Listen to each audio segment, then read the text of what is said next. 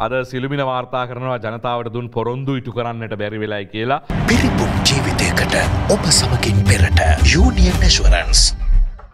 සමග ජනබලවගේ හිටපු පාලිමේන්තු මන්ත්‍රී කවින්ද ජයවර්ධන මහතා කිව්වයි කියලා ජනතාවට ලබාදුන් පොරොන්දු ඉටු කරන්නට ජනාධිපතිවර ඇතුළු කණ්ඩායමට නොහැකිවී ඇති බව තමයි ඔහු යළි අලිත් අවධාරණය කරන්න ඉතින් රට තුළ දැඩි අර්බුදයක් ඇති නමුත් ආණ්ඩුවේ තේරුම්ගෙන නොමැති බව පෙන්වා දෙනම කවින්ද ජයවර්ධන මහතා ජනතාව දැඩි බලාපොරොත්තු තබා සිටියත් දැන් සිදුව ඇත්තේම බලාපොරොත්තු සුන්වීම පමණක් බවයි ඔහුගේ අදහස්.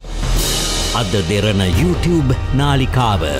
YouTube අද දෙරන දැන්ම සබස්ක්‍රයිබ් කරන්න.